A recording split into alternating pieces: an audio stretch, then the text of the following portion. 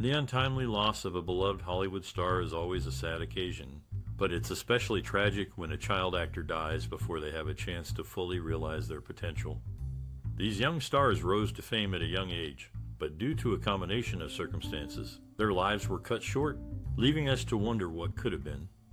For instance, the world was shocked when Shirley Temple, who became a household name in the 1930s, passed away in 2014 at the age of 85. Although she had a long and successful career, her death was still a reminder of the many child stars who left us too soon. Another example is Judith Barsi, a young actress who appeared in numerous commercials and TV shows during the 1980s. Sadly, she was murdered by her own father in 1988, just before her 10th birthday. Her promising career was cut short, leaving behind a legacy of unfulfilled potential. Similarly, Heather O'Rourke, who starred in the hit movie Poltergeist, passed away in 1988 at the age of 12 due to complications from surgery. Her death was a shock to fans and colleagues alike, and it served as a reminder of the fragility of life. Join us as we take a closer look at the lives and careers of these and other child stars whose lives were tragically cut short. We'll explore the circumstances that led to their untimely deaths and remember the contributions they made to the world of entertainment. Shirley Temple's journey to stardom was marked by disturbing experiences and challenges, even from a young age.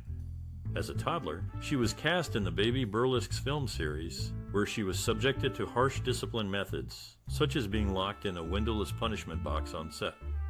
This cruel treatment was just the beginning of the hardships she would face throughout her career. Throughout her time in the industry, Shirley Temple endured constant sexual harassment. Inappropriate advances from industry figures such as George Jessel and The Wizard were a regular occurrence. Unfortunately, this predatory behavior would continue to haunt her as she grew older. When Shirley Temple was just 12 years old, producer Arthur Freed exposed himself to her during an office meeting. This traumatic incident was a stark reminder of the dangers she faced in the industry. At the age of 17, producer David O. Selznick attempted to assault her, highlighting the pervasive sexual harassment that was all too common in Hollywood. In addition to the harassment she faced, Shirley Temple also had to deal with the fallout from her father's financial mismanagement. Despite earning an estimated $32 million, she found only 44,000 left in her savings due to her father's poor decisions. This left her in a vulnerable position with little financial security to fall back on. Writer Graham Greene added to her struggles with his disturbing sexual reviews about the child actress. His inappropriate critiques objectified her and contributed to the harmful environment she was forced to navigate. Shirley Temple's personal life was also marked by challenges. Her first marriage to John Agar was abusive, with Agar struggling with alcoholism and frequently mistreating her. The couple eventually divorced after five years. At the age of 11, Shirley Temple survived an assassination attempt by a stalker who believed Temple had stolen her daughter's soul. This incident underscored the dangers faced by child stars, who were often thrust into the spotlight at a young age and forced to navigate a world that was not always kind or safe. The Hollywood star system, which discovered and exploited actors, played a significant role in Shirley Temple's career. She was one of the early stars shaped and controlled by this system, which sought to capitalize on her talent and youthful charm. Despite the many challenges she faced, Shirley Temple persevered and became one of the most beloved child stars of all time. River Phoenix, a talented actor who captured the hearts of many with his memorable performances, faced a significant struggle with drug use. Born on August 23, 1970, in Madras, Oregon, Phoenix was the eldest of five children in a close knit family of missionaries and musicians. At a young age, Phoenix showed a keen interest in performing arts. He began his acting career at the age of 10, appearing in various television shows and commercials, his breakthrough role came in 1986 when he starred in the coming of age film Stand By Me, which earned him critical acclaim and recognition. Despite his early success, Phoenix struggled with drug use, which began when he was just 14 years old. He was known to have experimented with various substances, including marijuana, LSD, and cocaine. His drug use escalated over the years, causing a significant impact on his personal and professional life. On October 31, 1993, Phoenix's drug use ultimately led to his untimely death. He suffered a drug related heart attack outside the Viper Room, a nightclub in Los Angeles, at the age of 23. his death shocked the entertainment industry and left a void in the lives of his family, friends, and fans. Phoenix's legacy continues to live on through his remarkable body of work. His performances in films such as My Own Private Idaho, Running on Empty, and Dogfight showcase his incredible talent and versatility as an actor. Despite his struggles with drug use, Phoenix remains an inspiration to many, reminding us of the importance of seeking help and support when facing personal challenges. Judy Garland, an iconic figure of Hollywood's golden age, faced immense pressure to maintain her on screen image. As a teenager, she was already working in the entertainment industry and was subjected to strict dieting and drug use to keep her weight down and energy up. This early exposure to the harsh realities of Hollywood, combined with the intense scrutiny and expectations placed on young stars, took a toll on Garland's mental health. Despite her talent and success, Garland struggled with addiction and financial troubles throughout her life. These struggles were exacerbated by the abuse she faced, including sexual harassment from older actors while she was still a teenager. The pressure to conform to the industry's unrealistic standards, along with the trauma of her experiences, led to a lifelong battle with mental health and addiction. In 1969, at the age of 47, Garland's life was cut short when she accidentally overdosed on barbiturates. Her death was a tragic end to a life marked by both triumph and struggle. Despite the challenges she faced, Garland remains an iconic figure in Hollywood history, known for her incredible talent and unforgettable performances. Throughout her career, Garland endured severe abuse, including sexual harassment by older actors while she was a teenager. This abuse, combined with the intense pressure to maintain her on screen image, took a significant toll on her mental health and contributed to her struggles with addiction and financial troubles. In the end, Judy Garland's life was marked by both triumph and tragedy. She remains an iconic figure in Hollywood history, known for her incredible talent and unforgettable performances. But her story is also a cautionary tale about the dark side of the entertainment industry and the immense pressure placed on young stars to conform to unrealistic standards. Natalie Wood's career as an actress was marked by significant challenges, including instances of sexual assault and harassment. At the tender age of 16, Wood was sexually assaulted by a famous movie star who had promised her mature roles. This traumatic experience had a profound impact on her and set the stage for ongoing harassment throughout her career. Despite these challenges, Wood persevered and became a highly respected and successful actress. However, she was often subjected to unwanted advances and inappropriate behavior from her male colleagues.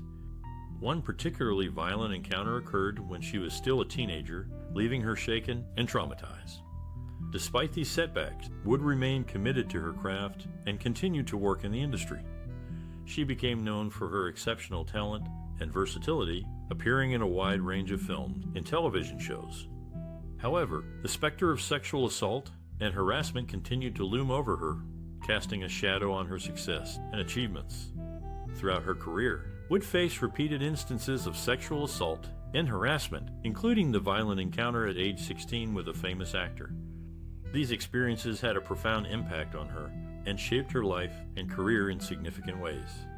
Despite these challenges, Wood remained a dedicated and talented actress, leaving behind a legacy that continues to inspire and influence others in the industry today. Dana Plato, best known for her role as Kimberly Drummond on the popular 80s sitcom Different Strokes, faced a series of challenges and struggles in her personal life after leaving the show. Born on November 7, 1964, in Maywood, California, Plato's career in show business began at a young age. She started acting in commercials and landed her breakout role on Different Strokes at the age of 14. The show was a massive success, and Plato became a household name. However, in 1983, Plato became pregnant and left the show. This decision had a significant impact on her career as she struggled to find roles in the entertainment industry. Plato's pregnancy and departure from different Strokes marked the beginning of a downward spiral in her personal life. Plato turned to substance abuse as a way to cope with the stress and pressure of the entertainment industry. She developed an addiction to prescription drugs, which led to legal issues and financial difficulties in 1991. Plato was arrested for robbing a video store with a toy gun. She served a short jail sentence and was placed on probation. However, she continued to struggle with addiction and was arrested several more times for drug related offenses. Plato's personal life was also marked by turmoil. She was married twice and had one son. However, her relationships were fraught with conflict, and she experienced periods of homelessness. Tragically, Plato's life was cut short when she died of a drug overdose on May 8, 1999, at the age of 34. Her death was ruled a suicide, but those close to her believe it was accidental. Despite the challenges she faced, Plato's legacy lies on through her work on different strokes and her contributions to the entertainment industry. Her story serves as a reminder of the struggles that many child stars face as they transition into adulthood. Gary Coleman's rise to fame began in the late 1970s when he became one of the highest paid child stars in Hollywood. Born on February 8, 1968, Coleman stood out for his short stature, a result of a congenital disease called nephritis, which also caused him numerous health issues throughout his life. Despite his health challenges, Coleman's acting career took off when he was cast as Arnold Jackson in the hit television show Different Strokes. The show aired from 1978 to 1986, and Coleman quickly became a household name for his portrayal of the lovable and precocious Arnold. After Different Strokes, Coleman tried his hand at film, but he struggled to replicate his earlier success. He appeared in a few movies, including On the Right Track and The Kid with a Broken Halo, but they did not receive the same level of acclaim as his television work. In the late 1990s and early 2000s, Coleman took on roles that lampooned his declining image. He appeared in shows like The Surreal Life and Celebrity Boxing, where he embraced his public persona and poked fun at himself. Despite his struggles, Coleman remained a beloved figure in pop culture. His infectious personality and unique look made him a fan favorite, and he continued to work in television and film until his untimely death in 2010. Coleman passed away on May 28, 2010, at the age of 42, due to an epidural hematoma caused by several seizures. His death was a shock to fans and colleagues alike who remembered him for his talent, humor, and resilience in the face of adversity. Throughout his life, Coleman dealt with numerous health issues and a congenital disease that affected his height. However, he never let his challenges define him. Instead, he used his platform to make people laugh and bring joy to others. His legacy continues to live on through his work and the memories he created for fans around the world. Under the intense pressure to maintain her glamorous image, Joan Crawford, the legendary Hollywood actress, was subjected to a strict diet and amphetamine use.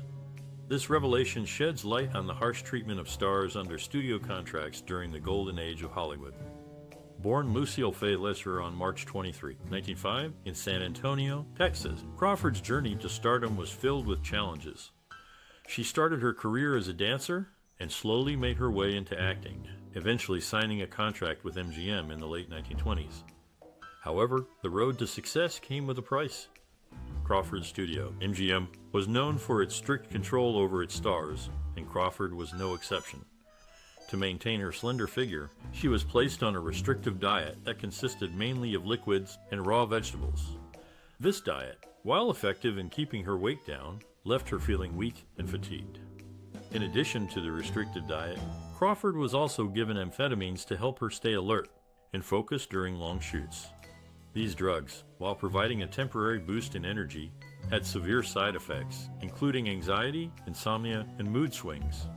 Despite these challenges, Crawford continued to work tirelessly, appearing in numerous films throughout the 1930s and 1940s. Crawford's dedication to her craft and her ability to overcome adversity are a testament to her strength and determination. However, the harsh treatment she endured to maintain her image reflects the unforgiving nature of the Hollywood studio system during this time. Despite the challenges she faced, Crawford remained a prominent figure in Hollywood for several decades. She won an Academy Award for her role in Mildred Pierce in 1945 and continued to act in films and television shows until the early 1970s. In conclusion, Joan Crawford's experience highlights the harsh treatment that many stars faced under studio contracts during the golden age of Hollywood. The pressure to maintain a certain image took a toll on Crawford's health, but her resilience and determination allowed her to continue to thrive in the industry. Her legacy as a trailblazing actress and a symbol of strength and determination continues to inspire generations of actors and fans alike. Mickey Rooney, born Joseph Yule Jr. on September 23, 1920, was an American actor who faced a lifelong struggle with addiction, partly due to the practices of MGM Studios. During the height of his career in the 1930s and 1940s, Rooney was often given stimulants to maintain his performance levels, contributing to his substance abuse issues. Rooney's career began at a young age when he started performing as a child actor. By the time he was a teenager, he had already become a major star, thanks to his roles in films like A Family Affair and Boys Town. However, the pressure to perform and the demanding schedule took a toll on the young actor. MGM, the studio behind Rooney's success, was known for its strict control over its stars. The studio supplied Rooney and his co star Judy Garland with stimulants to help them keep up with the grueling schedule and maintain their energy levels. This practice would have a lasting impact on both actors, who struggled with addiction throughout their lives. Rooney's addiction issues were not limited to the stimulants he was given during his time at MGM. He was also known to have struggled with alcohol and other substances. Despite these challenges, Rooney continued to work in the entertainment industry for several more decades, appearing in films, television shows, and stage productions. Rooney's addiction struggles were not unique in Hollywood. Many other actors and performers have faced similar challenges, often as a result of the pressures and demands of the industry. However, Rooney's experience highlights the need for greater support and resources for performers who are struggling with addiction. In conclusion, Mickey Rooney's career was marked by both incredible success and significant challenges. The practice of supplying him and other stars with stimulants to maintain their performance levels contributed to his lifelong struggle with addiction. Rooney's experience serves as a reminder of the need for greater support and resources for performers facing addiction issues. Scotty Beckett born Albert Anthony Beckett on October 4, 1929, in Oakland, California, first gained fame as a child actor in the Our Gang series in the 1930s. Known for his cute appearance and charming personality, Beckett quickly became a fan favorite, appearing in over 20 Our Gang shorts between 1934 and 1936. As Beckett grew older, he transitioned from child roles to more mature parts in films such as Gentleman Jim with Errol Flynn and Junior Miss with Peggy Ann Garner. He also appeared in several popular radio programs, including the Jack Benny program and The Adventures of Ozzie and Harriet. Despite his early success, Beckett struggled with personal demons throughout his life. He developed a reputation for being difficult to work with due to his struggles with alcohol and gambling. He also had several run ins with the law, including a 1949 arrest for drunk driving and a 1956 arrest for carrying a concealed weapon. Beckett's personal struggles began to take a toll on his career, and he found himself struggling to find work in the late 1950s and early 1960s. He made a few appearances on television shows, including Perry Mason and The Twilight Zone, but his career never regained the momentum it had in his youth. Tragically, Beckett's struggles with addiction and legal issues ultimately led to his untimely death. On May 10, 1968, he was found dead in his Hollywood apartment at the age of 38. A note and a bottle of pills were found near his body, leading authorities to believe that he had died from an overdose of barbiturates and alcohol. Beckett's life and career were marked by both great success and significant challenges. Despite his early fame and success, he was unable to overcome his personal demons and ultimately paid the price. Nonetheless, his contributions to the world of film and television will always be remembered.